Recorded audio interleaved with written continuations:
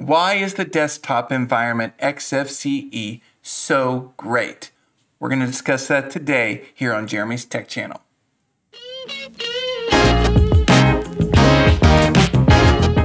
I'm starting a series based on my quest to understand and use GNU Linux on my laptop. I came in contact with a number of desktop environments. So this series is about four of my favorites, and probably the four that users like myself are going to be most interested in. I know window managers are cool, and I'm interested in them. But for now, I'm going to highlight during this video series four that I think are the most compelling. If you're in the Linux space for any amount of time, these names are very familiar to you. But for beginners and new users, Doing a walkthrough of each will hopefully arm you with enough information to know exactly what you're looking for. Each have their own workflows, aesthetic, configurability, and tools to get work done.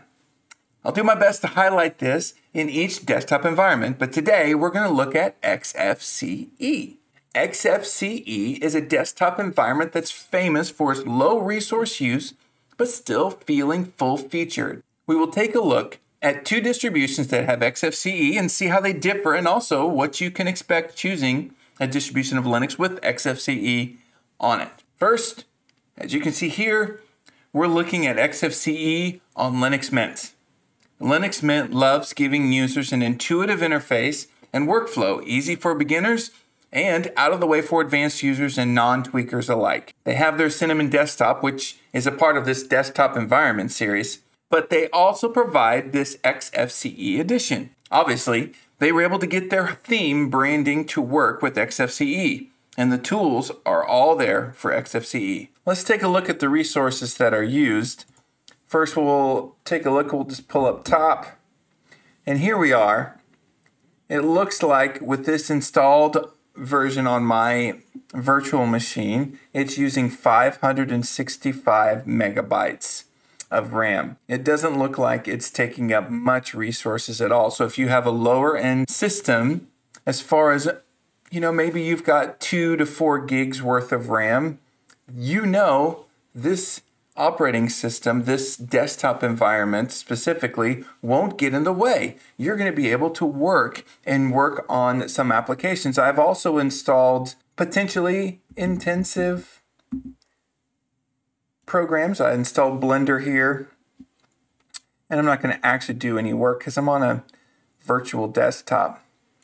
But when I brought in Blender, it added another 300 megabytes. And now let's also open up Firefox. And we're going to go to youtube.com. We're going to check out Jeremy's Tech channel. And we're going to go to linuxmint.com and we are going to also check out YouTube again because we want someone else to listen to as well. All right. So now we've added four tabs of you of Firefox. We've got Blender opened and we've got the desktop environment running. We are at 1.5 gigabytes used. So if you have a two gigabyte system, you probably could at least work with this. You might need to not be as multitasking, but you can definitely use this. And that is great. The other thing is, everything is still extremely snappy. I love that. Boom. Now we're back to where we were. For those of you who care about this, now you can see what Linux Mint specifically is running. Um, this version is using the 5.4.0.91 kernel, and it shows that 2,057 packages are installed. So hey, this is great.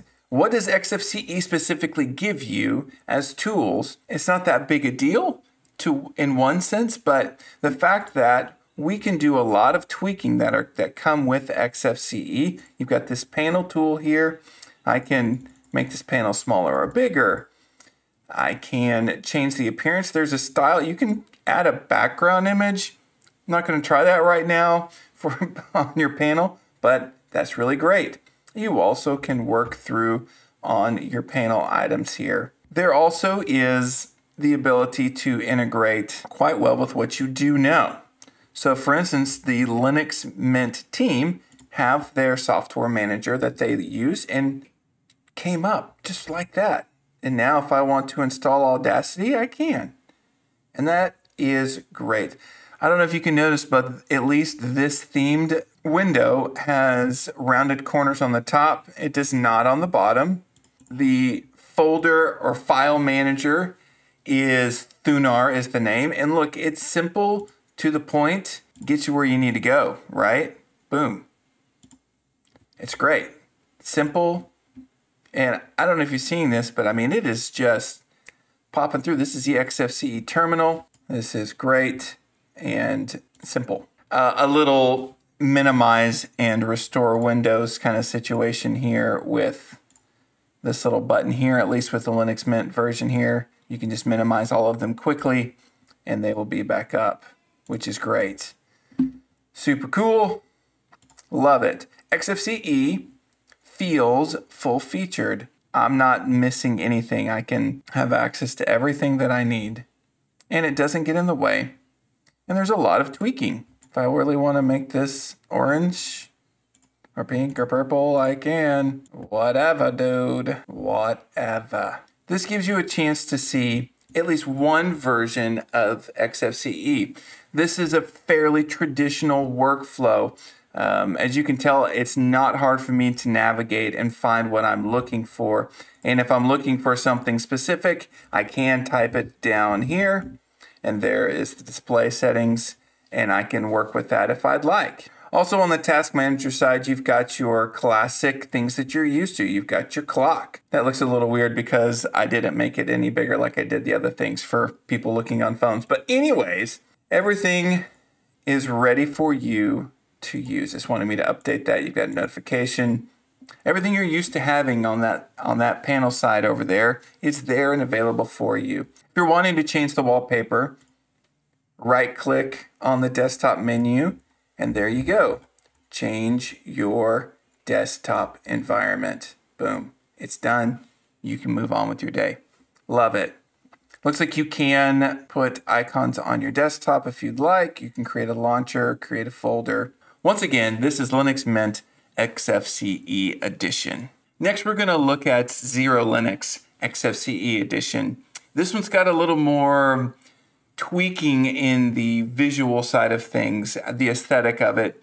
You may like it, you may not. You may appreciate the simple layout of XFCE like Linux Mint has it, or you may be looking for something that looks fresh or different. So we're going to check out how tweakable XFCE is. If you do want to tweak, if you do want to change the look, what can you manipulate to make it the way you want it to look and feel?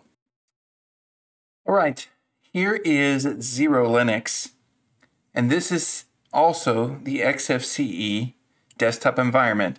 By the way, XFCE was originally an acronym for Xforms Common Environment, but since that time has been rewritten twice and no longer uses the Xforms toolkit, the name survived but is no longer capitalized as XFCE, but rather capital X and then lowercase fce.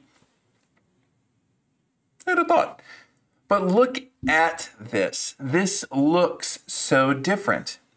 But you've got pretty much everything you need. You've got your terminal. This is using a much newer kernel, if you can see that, 5.16.16 which is cool. Xero Linux has minimal situation here, but a very unique look to it. And I think it looks pretty great, personally. Uh, you've still got all the things you'd want. And it's sitting there for you. Let's go ahead and take a look and see with all of these visual enhancements, at least to my eyes, it's a little bit, it's running a little bit more than the Linux Mint XFCE, but not much at all. 585 megabytes at least showing here, which is outstanding. I love that this bar up here is not really a bar. It's essentially three zones here where you've got the information you want. And I really like that. You've got your notifications, you've got your network situation, you've got your power down situation, you've got your clipboard, all of the things that you'd want. I believe these are desktops, so workspaces, I mean, that you've got available to you. So we could open up Firefox and then we could open up the terminal and we could open up the dictionary client. and so you've got these workspaces right here and something else that Xero Linux has done. If you push the Windows key, you get a launcher and it's super cool. I really like that. Right clicking on the desktop, you still have some of the same functionality. I mean, XFCE is there.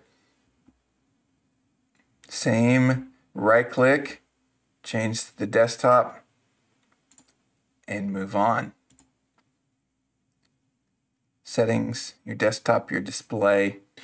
My point is, you still have the same functionality and full featured nature of XFCE in a very different looking um, and workflow change that's there that you know feels different, but it's still XFCE.